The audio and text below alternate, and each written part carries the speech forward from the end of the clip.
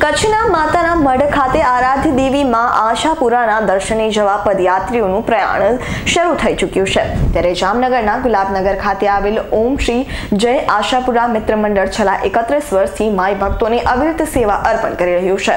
આ સેવા કેમ્પના સર્વેસર્વા કહી શકાય એવા આશરે છોતેર વર્ષના રાજકુંવરબા જાડેજા પૂર્ણ ભક્તિ શક્તિ સાથે આ આયુમાં પણ પોતાના પરિવારના તમામ લોકો સાથે માં આશાપુરાની સેવા કાજે એકત્રીસ વર્ષથી પગપાળા જતા ભક્તો માટે નિરંતર ચા, નાસ્તો, ભોજનનો પ્રસાદ, સેવાની આપતી નજરે પડે છે.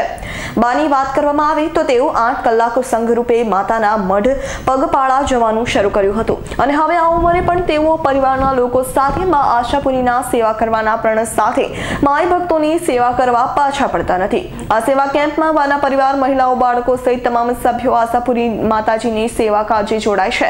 અને આવનારી પેઢી પણ આ સેવા આપતી રહેશે. આજે પણ આ આયુમાં બાની માય ભક્તોની સેવા કાજે હિંમત, આસ્થા અને અતૂટ શ્રદ્ધા સેવા ભક્તોનો મીઠા બોલ સાથેના પ્રસાદ ગ્રહણના આવકારના સ્મિત સાથે જોવા મળે છે. હું જાડેજા મહેન્દ્રસિંહ નવલસિંહ, ગુલાબનગર જામનગર, અમે આશાપુરા મિત્ર મંડળ, ગુલાબનગર સેવા કાર્ય કરી છીએ આશાપુરાએ જે હાલીને જતા હોય એના માટે. એમાં અમે જોડાયેલા છે ચંદ્રસિંહ જીવભા જાડેજા, જયેન્દ્રસિંહ, રામસિંહ સોઢા દિવ્યરાજસિંહ યુવરાજસિંહ કૃષ્ણપાલસિંહ રઘુભા કિશોરસિંહ જાડેજા જયદેવસિંહ જાડેજા રાજેન્દ્રસિંહ જાડેજા દિવ્યરાજસિંહ જાડેજા? કેમ્પનું આયોજન અમે એકત્રીસ વર્ષથી સતત ચાલુ છે. અને આમાં માતાના મધ્ય અહીંયા જામનગર આજુબાજુ વિસ્તારમાંથી ચાલીને જતા હોય. તેને સેવા કાર્ય કરી છે. અને ત્રણ તારીખથી ચાલુ થઈ ગયું છે. માણસ સતત નીકળે છે.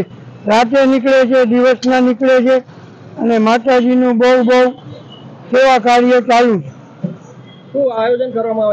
આયોજનમાં એવું છે સવારે અમારે ચા નાસ્તો ગરમા ગરમ ગાંઠિયા મરચા જલેબી અને બપોરે અમે જમવાની વ્યવસ્થા રાખેલ છે.